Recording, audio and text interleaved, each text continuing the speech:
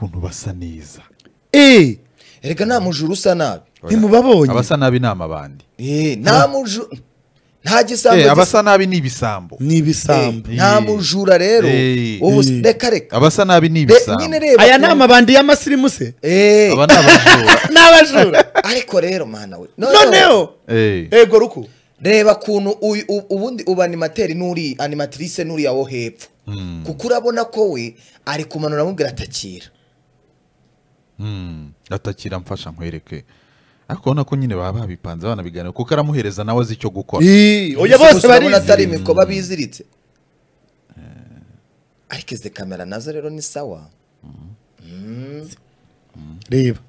Rebaho reba ukuntu abagore mu bitenge bari bari muri za kamanyoro. Ababyeyi bari abakera. Nuvayo mumbwira ukuntu amakipe yanyu Faustinho ambabarira bitubwire ntabwo kambwira iby'ibitego gusa. Eh, Faustinho na Leonidas Eh. nande wundi? Dukeneye na- kumenya amakuru y'ukuntu abakinnyi mu ikipe Mm. babiri ari bo batanga urumogi ngo abandi ari bo baruzirika. Iyo kipe ni iyihe? Uretse gato. Ndaje ndabivuga da. Baragira batya ariko bariya abanyamakuru n'abasazi.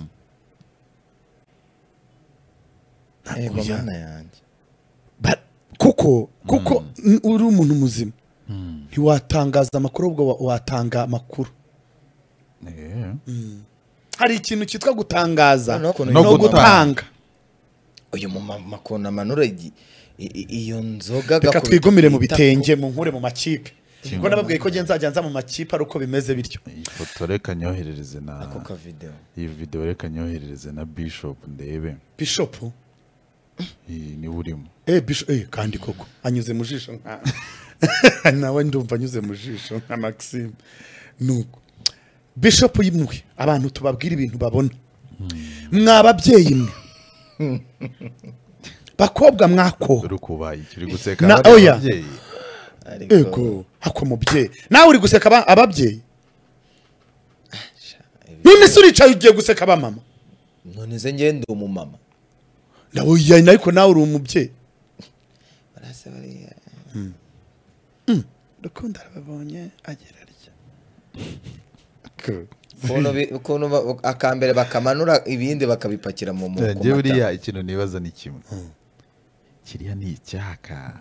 Oya buretse nkwereke. Ni ingeso. Oya buretse. Hari ukuntu unywa ukavuga uti ndongera ncurure.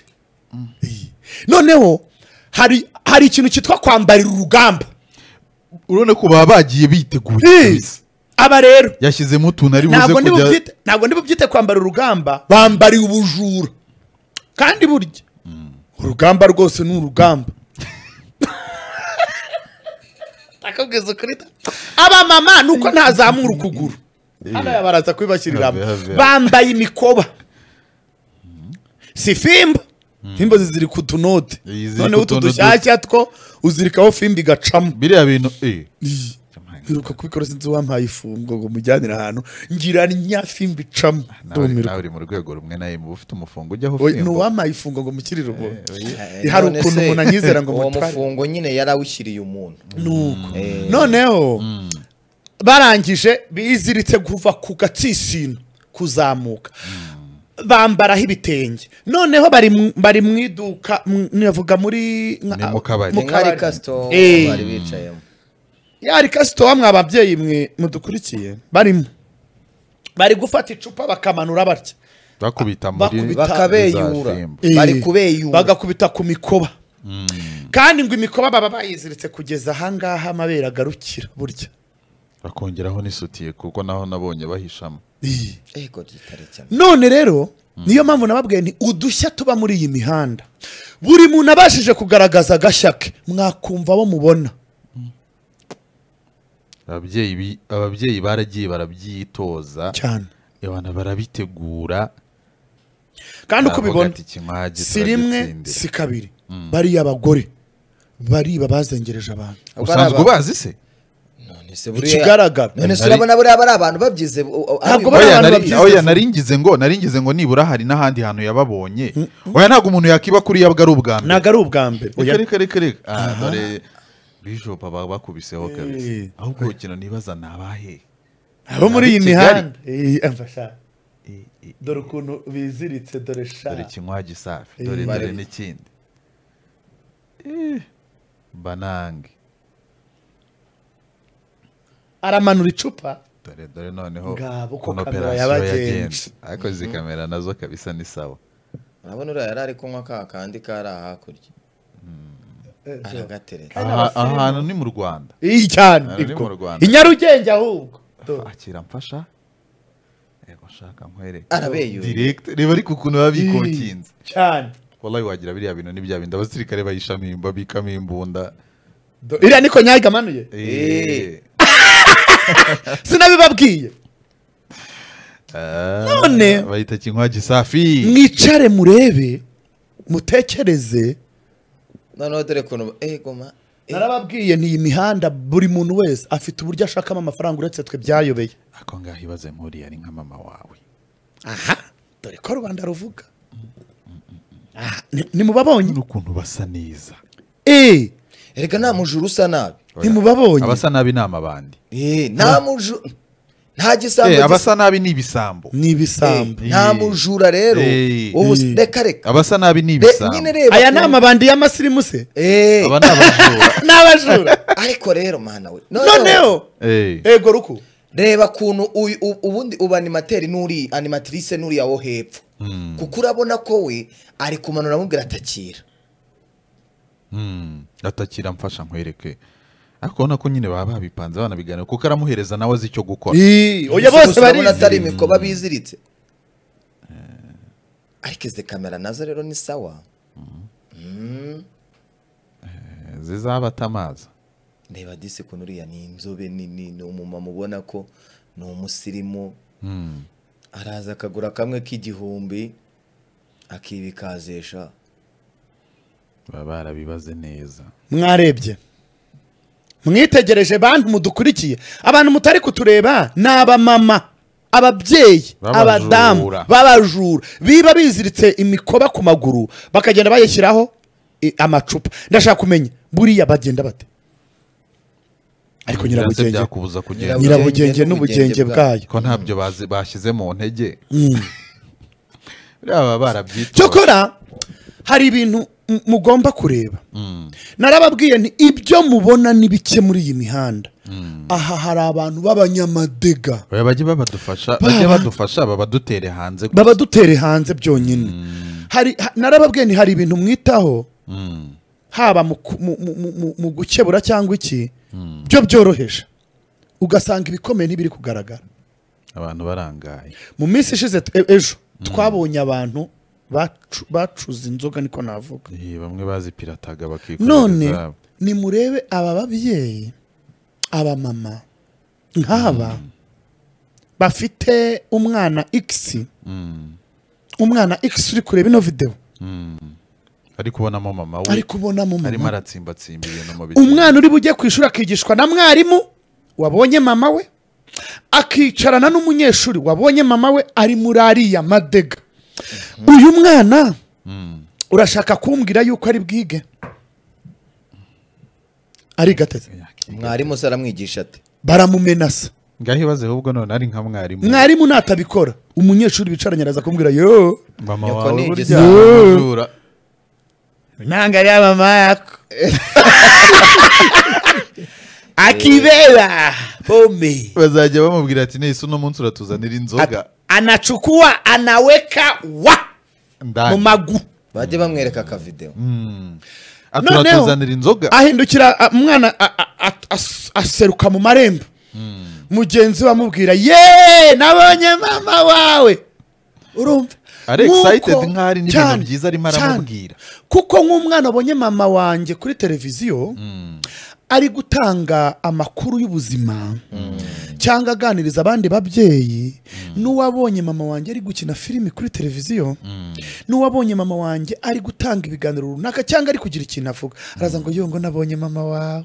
Urumva? N'ibindi rero na byo. n'ibindi rero na byo. Niko bigenda. Ntimugire ngo ingaruka ziri kuri aba. Kabone n'iyo inzego z'ubugenzacyaha zaba zabamaze kubata muri yombi. Mm. kabone n'iyo byagenda gute. Abaturanyi baraza kuza kujya bamu- bamukwe- bamukwena bagira bate noneho n'uwabuze ikintu avuga ati aha. Baravuga uwibye n'uriya turamuzi muri karitsiye n'uriya ubwo wabuze ibintu byose wese ni ho azajya ajya kuba niyo mpamvu umuntu ahitamo ibyo akora ariko ntahitamo ingaruka zabyo. Ibintu birasebetse. Uretse kuba binasebetse kuba ari ubujura biteye agahinda. noneho biteye agahinda kuba ari ababyeyi. Yes. Hari umuntu ushobora gukora ikintu? Ubonye ari ikintu cy'ikigabo gisa nabi wavuga ati niko byabaye. Nubwo nubwo na byo bidakwiriye. na byo bidakwiriye. Ariko hari umuntu wigeze kwicara avuga ngo hari ibara ritabera imbwa. Shaka bisa. Nyine hari iryo jambo kuba yararivuze byonyine. hari nk'umuntu ubona yibye nubwo nta muntu ubu- ubu- ubusamba bubera cyangwa ubujura bubera ariko hari umuntu ubona yibye ukavuga ati uyu muntu. Oya hari umuntu ubona ko biba bimumerita ariko hari n'umuntu ubona. Muribuka umugabo wibye konyagi nyabugogo akaba arambutse umuhanda akaba aramugonze igitsina kigacika. Yego. Nise kubiseka iyo nkuru ntayuzi nyine nuko yagiye nyine arako- urumva? Rero hari ibintu dukora tuzi neza yuko turi kwirwanaho. Ariko tutazi ko hari abo turi guta mu bihanamanga. Uri muri isenyagura cyane cyane buriya umubyeyi ukora ibi Mm. biba bibabaje. Agahinda kuko uraza gusanga hari umuntu uri buze gukora ibintu runaka by'ibidega. Ariko ntatambuke hariya cyangwa ngo umuntu watambuka hariya bavuge ngo runaka yakoze ibi. Ariko aba bafite abantu. Mbibasubiriremo babyeyi muri gukora n'abatazakora n'abatakora nk'ibi. Mwakora ibindi. Erega niyo waba utarabagira n'abana?